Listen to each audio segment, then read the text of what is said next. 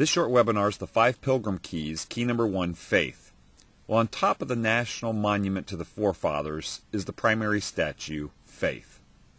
She faces east, remembering from where they had come. God's providences in their coming to America, God's providences in all of history, the working out of His plan.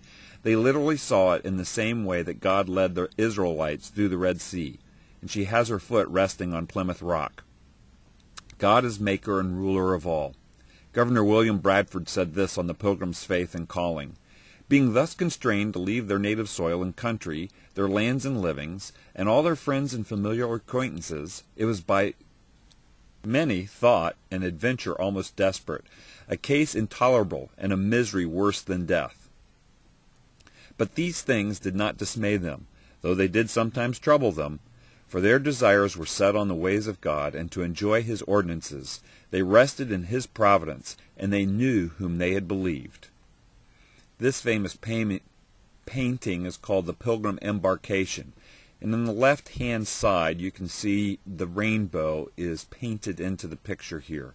And the rainbow in scriptures has always meant God's covenant promise to his people. And so this artist, many years later, painting the pilgrim's embarkation, included this aspect of their faith.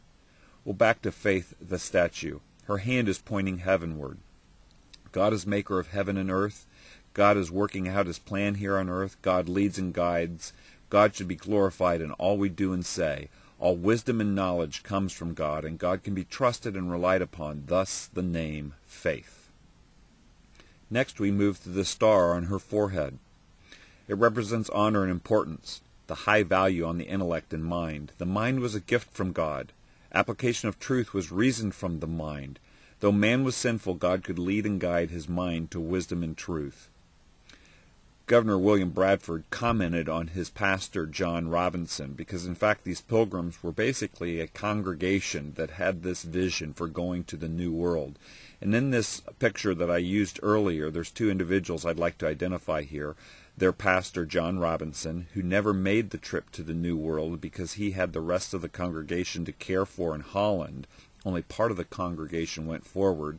And in the middle, holding the Geneva Bible, is Elder William Brewster, who was the leader of the congregation, at least the uh, like the pastor of the congregation that went uh, to the New World.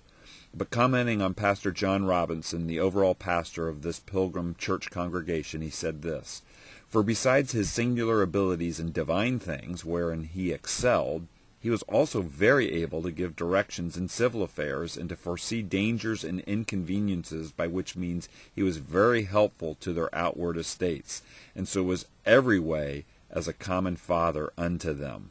So, in essence, what he was saying is Pastor John Robinson was not only an excellent Bible teacher and knew theology well, but he was a student of civil government, of uh, culture, cultural trends, and he served as a uh, shepherd uh, to his congregation way outside the boundaries of uh, what is traditionally called theology, but in economic effects, civil effects, and so on. And so he is a wise and prudent and well studied man who had cultivated a fabulous mind. What a challenge to pastors and Christian leaders today. Just a closer look at him before we move on. So, Faith has the Geneva Bible in her hand. The Bible is God's word to the pilgrims and mankind and should be cherished, honored, and followed. Its pages are slightly open, meaning it can be used. Pages blown by the wind, the Holy Spirit is like the wind and gives us insight into God's word. The Geneva Bible, in English, had chapter and verse for the first time. It was really innovative. It was portable, it was understandable, and it was the Bible of the Reformation because it had extensive maps and study notes and became the first English translation that was uh, highly usable uh, by the general public. And that's how their faith caught on fire and the Reformation spread toward England and motivated these pilgrims. But to have such a Bible was punishable by death. Dr. Paul Jehle has this great observation. The pilgrims believed that religious liberty preceded civil liberty. Religious liberty was internal, civil liberty was external. So religious liberty gave rise to civil liberty in society. And so faith is the first key. It opens up the additional keys on the monument represented by additional statutes. Those additional statues are morality, law, education, and liberty. There's a sequence to the keys. Internal religious liberty is expressed by faith that translates into morality. External civil liberty then flows from law to education to liberty. And so that's our conclusion on key number one, faith. My name's Craig Seibert. Thanks for listening.